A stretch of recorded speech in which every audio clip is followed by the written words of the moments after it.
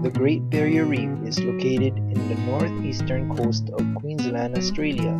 It is about 500 million years old, but its modern state was formed 8,000 years ago that developed after the last ice age. The coral system is composed of 2,900 individual reefs and 900 islands stretching 1,400 miles.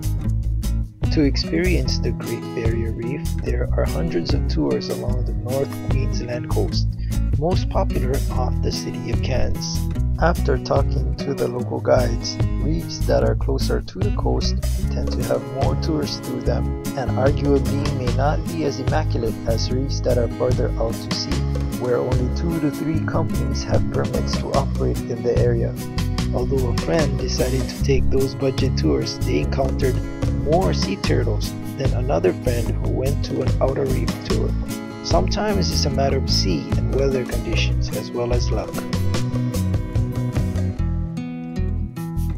I ended up going to the outer reefs with Silver Swift. There are three reefs to visit dependent on the weather conditions and various packages consisting of predominantly diving or just snorkeling or just a mixture of both in different price range. I made sure to choose one that included a buffet lunch though knowing hunger will ensue from all that swimming.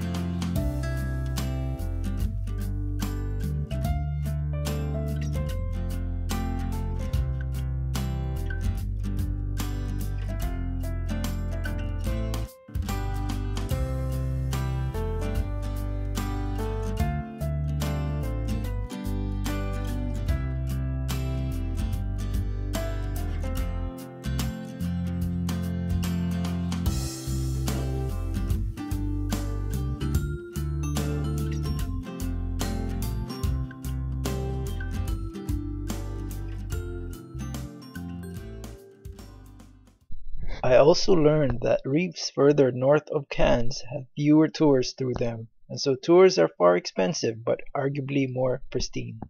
The coastal city Port Douglas, an hour drive north of the touristic city of Cairns, is popular with Australian citizens and retirees and is fairly more expensive. It's a mellow town, and tours there are pricier, organized in smaller groups, but people boast that the reef near there is magnificent. There is also a snorkeling tour off the coast of Cape Tribulation called Ocean Safari, and they tour the remote Mackay Reef, limited to about 20 people, and they have tours two times a day, early morning and afternoon. When I had the chance to get up there, I decided to take that tour. It's about a three hour drive from Cairns to Cape Tribulation, with a ferry crossing that'll cost $26 return, and the tour is about a five hour reef tour. 25 minutes to get to the reef and you snorkel two sites around the Mackay Reef Zone.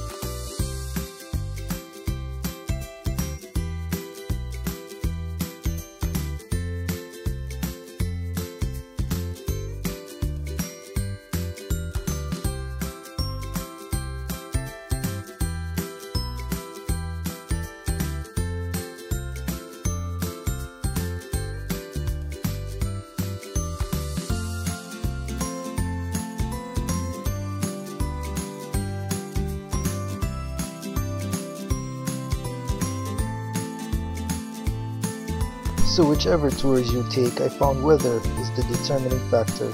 And to avoid the seasonal crowds and still enjoy the great weather, I recommend April to late July experiencing the Great Barrier Reef. Definitely won't disappoint.